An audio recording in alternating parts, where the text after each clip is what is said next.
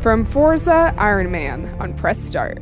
It's an Xbox ex- it's an Xbox exclusive, and I'll be surprised if we don't see another Forza in the next gen.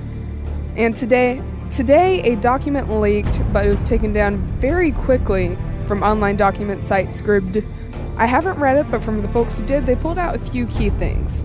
That being Kinect version 2, Blu-ray and tablet integration are going to be in the next system. None of these are really surprising, but, but the best part is a $300 bundle price tag. Not bad. The big feature revealed is called Fortaleza, obviously a code name such as Natal was for Kinect. Fortaleza looks to be glasses that will allow games to be in the room, along with having Wi Fi, cloud technology, and more connected to them. It will use 4G and will let you use Xbox content from anywhere. How they're going to make that work, we'll see, especially when it comes to games. And that's connected with the new Kinect. Oh, geez, so many Kinects. Kinect version 2 will have four player tracking, improved voice recognition, and of course, an improved camera.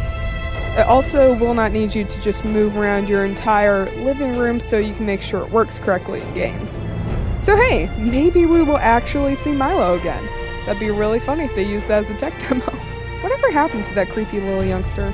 Kind of reminded me of Chobits, but minus the underwear and the whole weird AI. Oh, wait, have weird AI. Anyways, Halo, Fable, and Gears of War are set for the next system as well. Now, given this could be a leak or an elaborate hoax, we don't know now. Microsoft isn't really saying much. Given that Natal and Fortaleza are both names of capitals in Brazil, it could actually be legit. And we know how Microsoft likes to nickname their gaming technology after Brazilian capitals. Cool story, bro. Now, game I would love to see on Kinect is that crazy alien with the. Now, game I'd love to see on Kinect is Katamari. Because think about it. Imagine having a ball that you just rolled around your living room and it picked up stuff like in the game. That would be pretty neat.